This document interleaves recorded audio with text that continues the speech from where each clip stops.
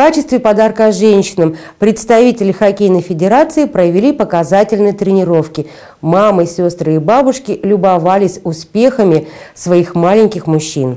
Видеть на льду мальчишек от 7 до 10 лет в полной хоккейной экипировке – зрелище само по себе удивительное. Тренер был вместе с хоккеистами на льду, направлял, помогал, следил за их игрой. Ребята играли в полную силу. На четвертой минуте была забита первая шайба. Примерно в это же время случился и первый разбитый нос. Игроки менялись воротами, менялись составы команд.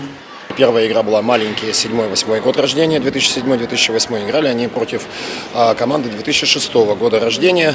А, значит, э, потом играли команды 2006-2005 сборная команда против команды 2004 года рождения. выиграл?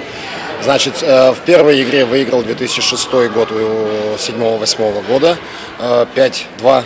Э, сейчас сыграли команды, э, выиграл 2005-2006 сборная против 2004 выиграл с счетом 6-1. Но это все в пользу им, это все как бы для их совершенствования, их мастерства.